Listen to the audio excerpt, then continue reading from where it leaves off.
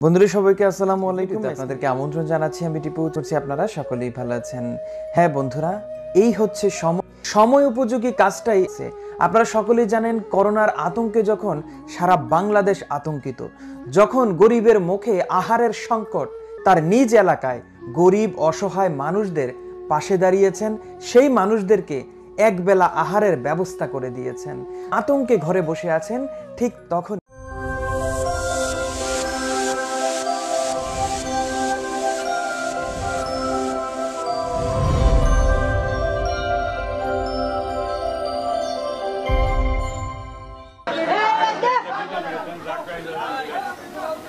তো যখন তিনি আমাদের পাশে দাঁড়িয়েছেন, সবাইকে সাহায্য করেছেন, আর প্রথমেই তিনি অনেক ধনী গরিবদেরকে সাহায্য করেছেন।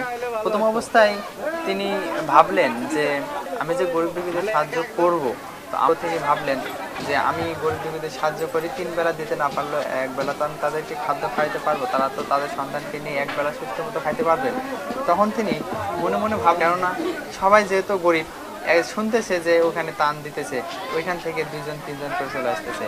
তার তারপরও তিনি মনে কোনো অহংকার করেন নাই যে, আর সঙ্গে দিয়েছেন একটি করে সাবান। এবং তাদেরকে বলা হয়েছে, যদি তোমাদের আরও তার মনে এরকম একটা উদ্যোগ নিয়েছে, সে অবশ্যই অবশ্যই মহানবান ব্যক্তি। কেননা মহানবান ব্যক্তি তাকেই বলা যায় যে, নিজের উদ্যোগে নিজের কোনো অহংকার না করে গরিব দুঃখীদের সঙ্গে ভালোবেসে মন থেকে কিছু দান করাকেই মহানবান ব্যক্তি বলে।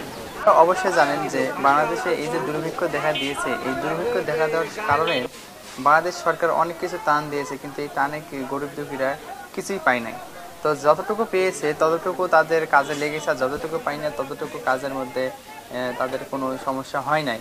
তো আমাদের সমাজে অনেক ভালো ভালো ধনী লোক আছে। আমাদের সমাজে অনেক ভালো ভালো ধনী লোক আছে, কিন্তু সারা বিশ্বে এই যে একটা দুর্ভিক্ষ দেখা দিয়েছে, এই দুর্ভিক্ষ দেখা দেওয়ার কারণে সারা বিশ্বের পুরো মানুষ পুরোটা চোপসে গেছে। আর এই দুর্ভিক্ষটা দেখা দিয়েছে প্রথমে, সর্বপ্রথমে চীন দেশ থেকে। তো এই এমন একটা দিন, গরিব দুঃখীদের পাশে কেউ যে দাঁড়াবে, এমন কোনো লোক নেই বাংলাদেশে। আর যারাও আছে, তারা গরিব দুঃখীদের মাঝে পাশে দাঁড়াইছে, কিন্তু খুব অল্প সময়ে তারা কাজ করেছে। কেননা, তাদের আছে পাঁচ টাকা, ওইখান থেকে আড়াই টাকা দিয়ে তারা সাহায্য করেছে।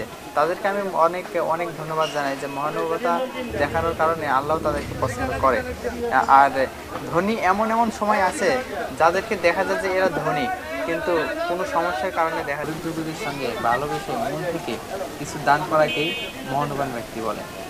অবশ্যই জানেন যে বাংলাদেশে এই যে দুর্ভিক্ষ দেখা দিয়েছে, এই দুর্ভিক্ষ দেখা দেওয়ার কারণে বাংলাদেশ সরকার অনেক কিছু টান দিয়েছে, কিন্তু এই কি গরিব দুঃখীরা কিছুই পায় নাই। তো যতটুকু পেয়েছে, ততটুকু তাদের কাজে লেগেছে, আর যতটুকু পাই না, ততটুকু কাজের মধ্যে তাদের কোনো সমস্যা হয় নাই। তো আমাদের সমাজে অনেক ভালো ভালো ধনী লোক আছে। আমাদের সমাজে অনেক ভালো ভালো ধনী লোক আছে, কিন্তু সারা বিশ্বে এই যে একটা দুর্ভিক্ষ দেখা দিয়েছে, এই দুর্ভিক্ষ দেখা দেওয়ার কারণে সারা বিশ্বের পুরো মানুষ পুরোটা চোপসে গেছে। আর এই দুর্ভিক্ষটা দেখা দিয়েছে প্রথমে, সর্বপ্রথমে চীন দেশ থেকে। তো এই এমন একটা দিন গরিব দুঃখীদের পাশে কেউ যে দাঁড়াবে এমন কোনো লোক নেই বাংলাদেশে। আর যারাও আছে, তারা গরিব দুঃখীদের মাঝে পাশে দাঁড়াইছে, কিন্তু খুব অল্প সময়ে তারা কাজ করেছে। কেননা, তাদের আছে পাঁচ টাকা, ওইখান থেকে আড়াই টাকা দিয়ে তারা সাহায্য করেছে। তাদেরকে আমি অনেক অনেক ধন্যবাদ জানাই যে মহানুভবতা দেখানোর কারণে আল্লাহ তাদেরকে পছন্দ করে। আর ধনী এমন এমন সময় আছে, যাদেরকে দেখা যায় যে এরা ধনী। কিন্তু কোনো সমস্যার কারণে দেখা যায় যে তারা কোনো ধনীর মতো আরি ভুবন মাটি অন্ধকার কবরে তেমনি একা থাকব মায়ারি ভুবন সে রে মাটি অন্ধকার থাকব ওরে মায়ার বাঁধন, পুত্র স্বজন, মায়ার বাঁধন, পুত্র স্বজন, মিছে মায়া কাঁদবে হায়। তেমনি একা থাকব হায়। মায়ারি ভুবন সে রে মাটি অন্ধকারে কবরে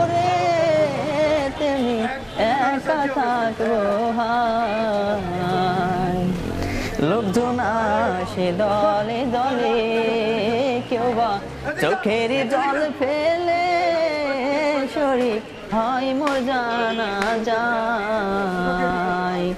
লোকজন আসে দলে দলে, কেউ বা চোখের জল ফেলে শরীর হয় মোর জানা যায়।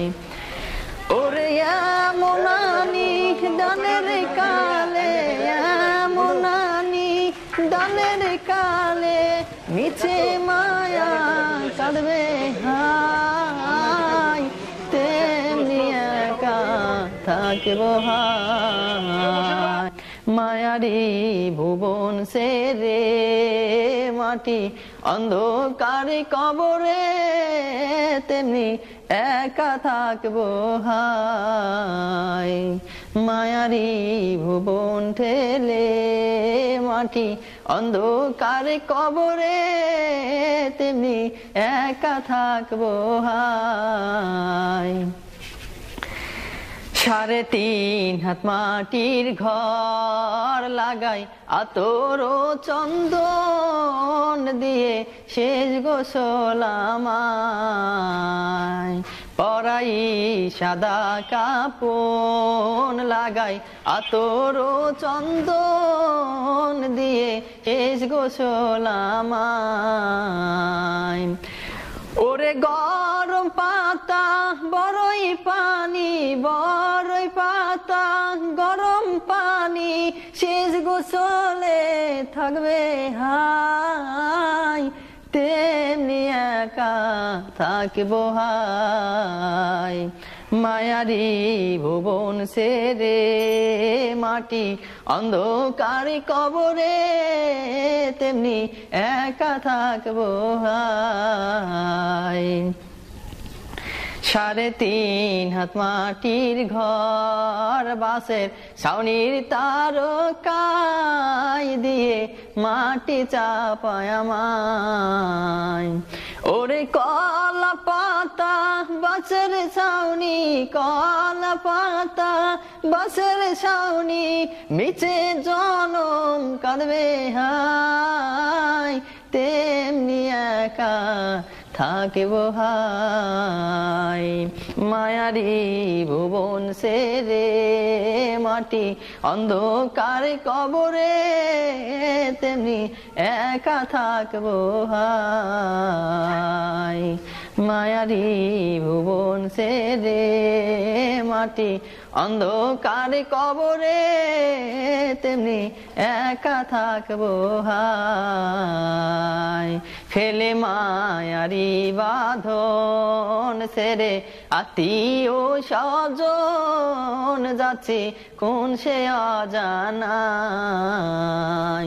ওরে এমনানি দানের কালে এমনানি দানের কালে, মিছে মায়া থাকব হাতে মাটি, অন্ধকার কবরে তেমনি একা থাকব হাই মায়ারি ভুবন সে রে মাটি অন্ধকার কবরে তেমনি একা থাকব হাই ফেলে মায়ারি বাঁধন সেরে আত্মীয় স্বজন যাচ্ছে, কোন সে অজানায়। ওরে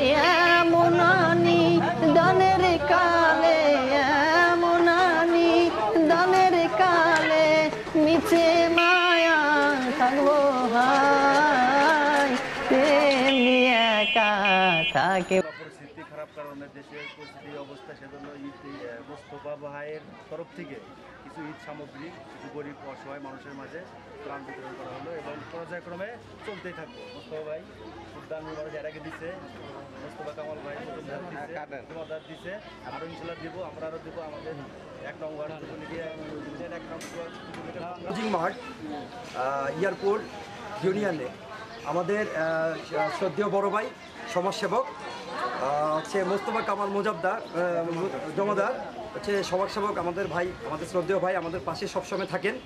এবং এই দুর্যোগ অবস্থায় ওনার কিছুটা উদ্যোগতার উদ্যোগে আমাদেরকে নিয়ে, আমাদের এলাকার যত ছোট ভাই ব্রাদার আছে তাদেরকে নিয়ে প্রায় দুই থেকে তিনশো লোকের মহামারীর কারণে উনি আমাদের আমাদের ইয়ারপুর ইউনিয়নের সেক্রেটারি জনাব আসলাম ভাই, আমাদের শ্রদ্ধেয় বড় ভাই ওনাকে নিয়ে উদ্যোগতা নিয়েছে ঈদ উপলক্ষে দুশো পরিবার বা তিনশো মতো প্রায় ওনাদেরকে ঈদ উপহার দিয়ে যাচ্ছে এবং পর্যায়ক্রমে আমরা আশা করব আমাদের শ্রদ্ধেয় বড় ভাই আরও এলাকার যারা আছেন ওনারা সহযোগিতা করবেন, আমরা এটা পর্যায়ক্রমে আমরা এটা বহাল রাখব।